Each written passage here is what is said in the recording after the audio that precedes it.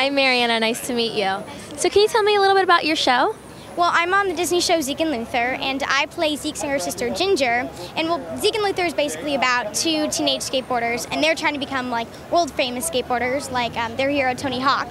And I play Zeke's younger sister Ginger, and she is always trying to pull pranks on her brother and make sure that everyone knows that she's smarter than him, even though she's so much younger.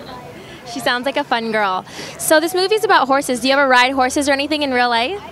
Um, I've done once or twice when I was at Sleepaway Camp, but that was a couple years ago. But I love it. I love horses. Um, so, can you tell me anything else you have coming up that you're working on? Well, we just started season three of Zeke and Luther, so I'm busy with that. Great. Um, a new episode was on yesterday, right? Yes. So, can you tell me a little bit about what's going to happen this season? Well, Ginger's just getting older, and there might be a little surprise with Zeke. You'll just have to wait and see. Great. I can't wait to watch. Thank you.